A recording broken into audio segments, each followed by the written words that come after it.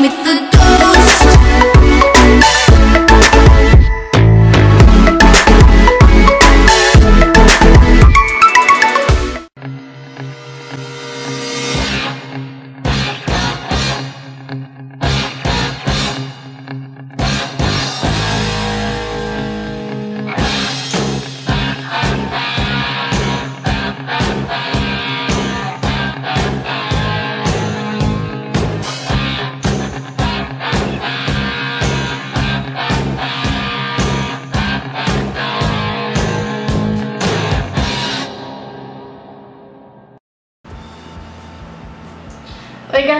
gatonas, tudo bom?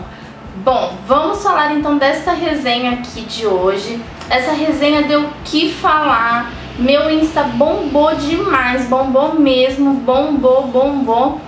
Porque eu fiz uma resenha brevezinha, assim, um videozinho lá no Insta falando sobre duas bases que deram o que falar mesmo. Então uma das bases que eu falei foi essa daqui, da Ruby Rose, tá? Como vocês estão vendo aí no vídeo. A base da Ruby Rose, ela tem efeito mate, ela é uma base líquida, ela tem cobertura alta e o preço que eu paguei nela, em média, é R$6,50. Ela varia entre 4 e 12, 15 reais, tá? Na embalagem fala, foi desenvolvida para conter a oleosidade da pele e disfarçar imperfeições. Aplique suavemente para correção de detalhes ou com firmeza para linhas mais marcadas. E agora outra base que também deu o que falar lá no meu Instagram e bombou muito, mais de 50 mil views. 50 mil views. Cara, bombou demais, tá? E foi essa base que vocês estão vendo aí no vídeo, essa daqui, que é a da Queen. Esta base da Queen, então, os pontos dela são longa duração, efeito mate, é uma base cremosa, fácil aplicação, cobertura leve custou 10 reais. Então chega de blá blá blá e vamos resenhar que é o que interessa e é o que vocês gostam de ver. Presta ou não presta? Para fazer a aplicação então eu vou fazer com essa esponjinha aqui. É a esponjinha Beauty Blender, tá? Eu fiz, todos os vídeos eu fiz a aplicação com ela porque ela foi a que deu o melhor resultado. Uh, pincel ou com a mão elas não têm muito o mesmo acabamento. No caso dessa da Queen, o melhor resultado foi com a esponjinha. No caso da, da Ruby Rose, o melhor acabamento foi com a esponja. Com a mão deu certo, mas ela fica com um acabamento mais leve, tá? Então esta daqui que eu estou aplicando é a base da Queen. Ok, vou aplicar então a base da Queen no lado direito do meu rosto. Vocês viram que meu rosto é um pouco avermelhado por causa da rosácea e tudo mais, então vocês vão ver como que vai ser a cobertura dela. Olha só, mostrando bem de perto, tá vendo como que é a aplicação dela? Ela, conforme você vai dando batidinhas, ela meio que remove um pouquinho de onde você tá batendo. Então aqui, ó, eu tô com uma cobertura maior, mas ela, ao invés de só espalhar, ela meio que hum, retira do, de onde tá pra espalhar, entendeu? Não sei se vocês conseguiram entender, mas é isso aí. Ela tira a base do lugar ao invés dela manter o do lugar e só espalhar o excesso. Beleza? A minha cor dessa da Queen é a cor 01, tá? Ela tem um cheirinho de, tipo um cheirinho de talco. Não é nada, eu gosto, não é nada que seja demais, assim, é bem gostosinho o cheiro. Ok. Enquanto seca, então, do lado esquerdo, eu vou passar essa base aqui que é a base da Ruby Rose, tá? Vou só virar a esponjinha pro outro lado e fazer a aplicação. Ela, vocês percebem que já é uma base mais líquida, né? Ela já vai escorrendo. A outra já é mais pastosa, mais cremosa. Quero que vocês vejam a diferença na pele de uma para outra, que é uma coisa assim bem diferente. O resultado de cada uma, sabe? E os testes também são bem diferentes, então é bem legal vocês verem as duas juntas. Por isso que eu quis fazer a resenha delas juntas, para vocês conseguirem ter noção, porque às vezes a gente fala assim, ah, mas o preço é parecido, o resultado é igual. Não. Às vezes a base é mais cara e tem um resultado horrível, às vezes ela é mais barata e tem um resultado maravilhoso, entendeu? Isso é custo-benefício, né? Mas, assim, é gosto também, né? Cada um vê aí o que acha melhor. Enquanto vai secando a base, vocês conseguem perceber o seguinte. Esse lado aqui da Ruby Rose, ela consegue cobrir mais, ela ainda tá secando, igual essa daqui. Mas ela cobre bem melhor a minha rosácea, ela tem uma cobertura realmente de média alta. O único probleminha assim maior dela é com relação aos poros, que vocês podem ver aqui bem de pertinho, ó. Ela não cobre totalmente os poros, mas assim também não é uma coisa muito demais. Essa daqui também não cobre os poros. Essa da Queen, ela não tem uma cobertura alta nem média, a cobertura dela é bem leve, tanto que vocês podem ver aqui essa região que já tá ficando meio rosada, né? Vocês conseguem ver que esse lado tá bem mais branco, mais carregado mesmo da base, esse lado que tá mais suave, tá? As duas demoram um pouquinho ainda pra secar, pra ficar mate, tá? É, então a gente tá aguardando esse tempo pra poder fazer os testes e não ter erro nenhum, tá? Vamos respeitar o tempo aí pra dar uma secada legal. Elas acumulam um pouquinho mesmo, ó.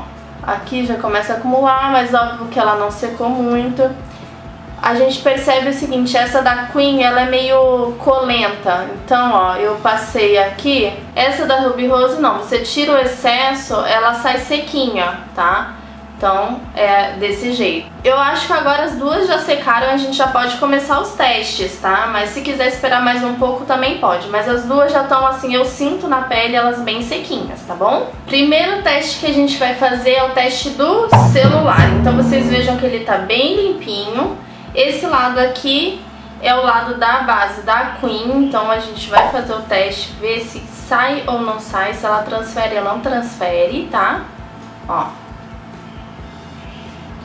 Transfere, beleza? Então, ela transfere um pouco. Apesar dela ser mate, ela realmente transfere. Com relação à longa duração dela, enquanto eu tô limpando, eu já vou falar aqui, tô limpando o aparelho, tá?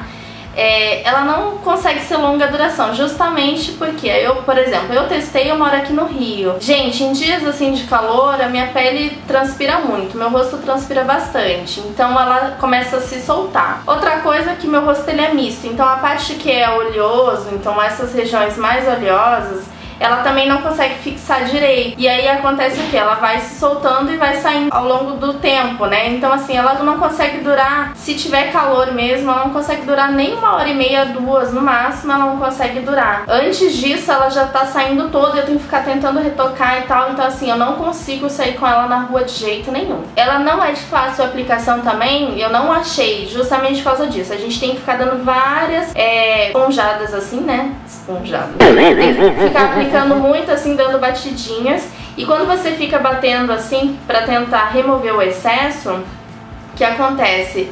Ela acaba saindo do lugar que você está batendo e tipo você passa pro outro. Então você tem que ficar toda hora assim, indo voltando, indo voltando até arrumar, entendeu? Então eu não achei que foi fácil o processo de aplicação dela. A abertura dela leve, então ok. Agora, aparelho limpinho, a gente vai fazer o teste aqui, que é o da Ruby Rose, tá?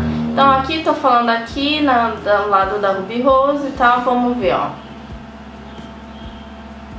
Nada. Nada também. Teste do celular, esse foi pra cá, esse foi pra cá, ponto positivo pra Ruby Rose. Então agora o próximo teste que a gente vai fazer é o teste do papel. Você vai só pressionar o papel no teu rosto, tá? Pra ver se ela libera algum excesso no papel ou não, tá bom? Ó. Então, no papel, nenhuma das duas transfere, tá? E o último teste que eu quero fazer pra vocês, pra gente acabar com essa batalha aqui tremenda entre Queen e Ruby Rose vai ser o teste da água, tá? Então, como eu disse, a gente mora num país tropical, nunca se sabe quando vai fazer calor, quando vai fazer chuva, quando vai fazer sol, quando vai fazer o quê. Então, assim, sempre que eu saio de casa e eu estou maquiada, eu tenho essa preocupação se vou, vou suar muito, se vai chover e tudo mais. Então, assim, por isso que eu faço o teste da água. Esse vidrinho aqui é a água que tem dentro, tá? Não é perfume não. Quando eu postei o meu videozinho lá no Instagram, o pessoal, gente, a menina é louca, tá passando perfume no rosto, não sei o que. Não, eu tô passando é água. Quem quiser mandar uma água termal aqui pra gente fazer o teste, também pode mandar que eu tô aceitando, beleza? Mas então é o seguinte, vou aplicar a água e a gente vai ver o resultado das duas. Lembrando que este lado é da Queen e este lado é da Ruby Rose.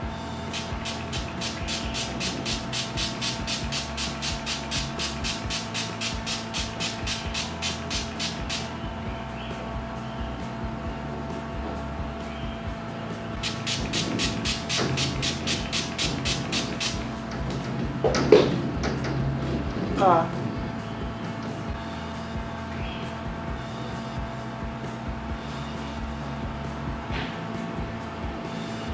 Então, o lado aqui da Ruby Rose.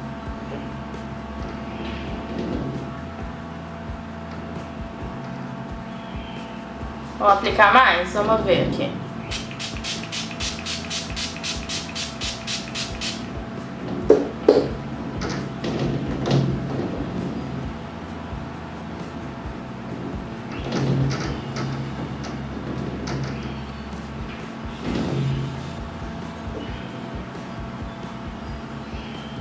Então vocês vejam aí com os olhos de vocês. Ai, meu. Vocês vejam aí o resultado. Lembrando, pessoal, que nenhuma das duas bases prometem ser a prova d'água. Então esse teste eu fiz por curiosidade mesmo e para ver a resistência, tá? Mas nenhuma delas falam que é a prova d'água não, beleza?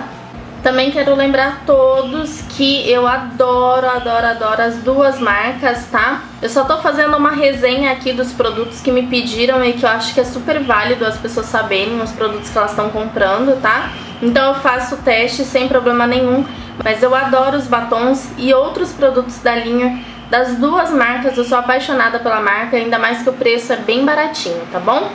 Então era isso que eu queria dizer, pra ninguém vir falar depois, ai, a Fernanda tá falando mal da marca. Não tô falando mal nenhum. Simplesmente estou fazendo uma resenha com credibilidade, imparcial, entendeu? Não tenho nenhum contrato com nenhuma marca, então eu só quis mesmo relatar o que eu achei do produto. Então era isso que eu queria mostrar pra vocês, o resultado das duas, o teste feito com as duas, sendo que o preço das duas são bem semelhantes, tá? Então da Queen foi 10, a da Ruby Rose foi 6,50. O preço é muito assim pareado das duas, tá? E era isso que eu queria mostrar, o cumpre ou não cumpre, tá bom? Então eu espero muito que vocês tenham gostado da resenha de hoje. Se tiverem ainda alguma dúvida, deixa aqui abaixo nos comentários pra mim que eu respondo. Se tiverem sugestões também, deixa aqui abaixo. E não se esqueçam de se inscrever aqui pra mim, que vai me ajudar demais na divulgação do meu canal. Isso é muito importante pra que eu continue fazendo esses vídeos pra vocês, tá bom?